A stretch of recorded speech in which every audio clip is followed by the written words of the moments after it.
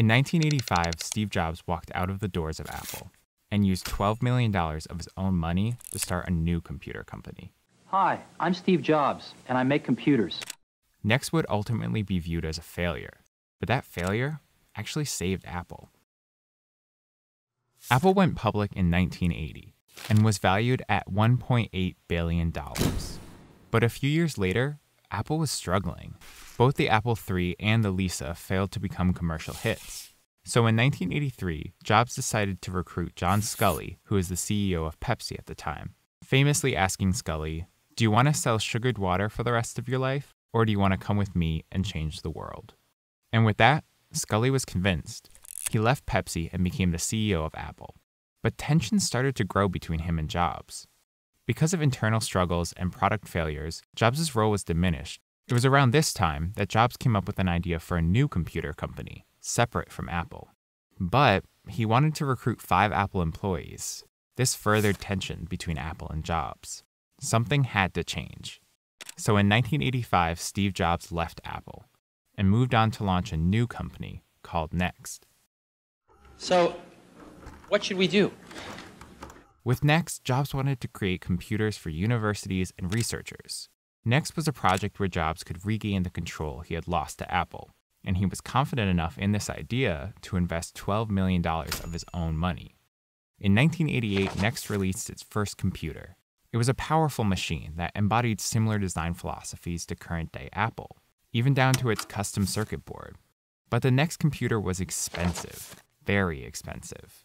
While other computers at the time ranged from 700 to a few thousand dollars, the Next computer had a base price of $6,500. But the education market it was targeting already had a lot of older computers and limited budgets. Next computers never found mass success. So in 1993, Next completely stopped developing its hardware and shifted its focus to the real innovation software. The operating system for Next computers was called NextStep. It was built on top of Unix, an operating system that dates back to the 1960s. Using Unix as its base gave NextStep several key advantages over macOS, like object oriented programming and protected memory, which meant fewer system crashes. And it used developer tools like Interface Builder, which made creating programs much more intuitive.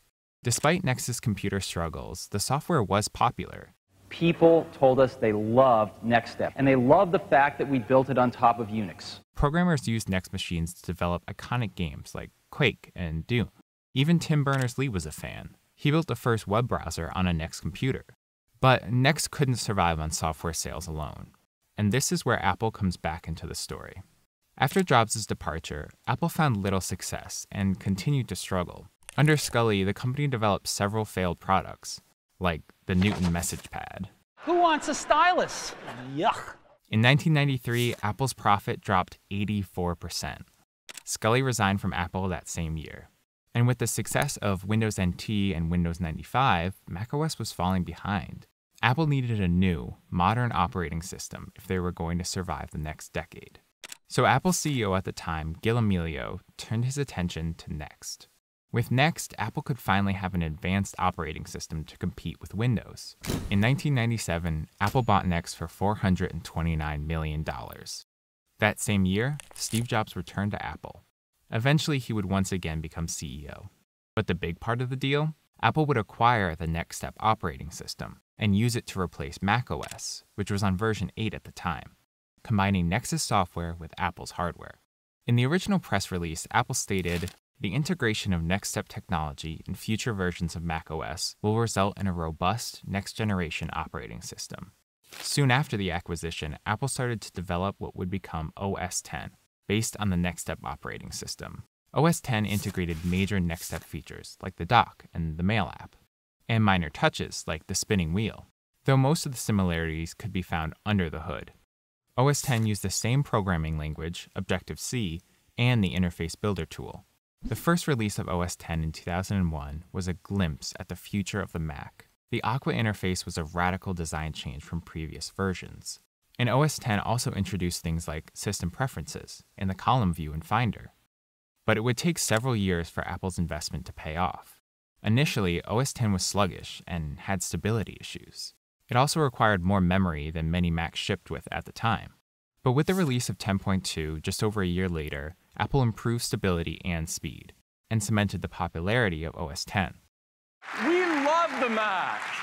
From the dock to the way programs are designed, OS X looks similar 18 years and 14 versions later. Even in 2001, the user interaction felt modern and intuitive.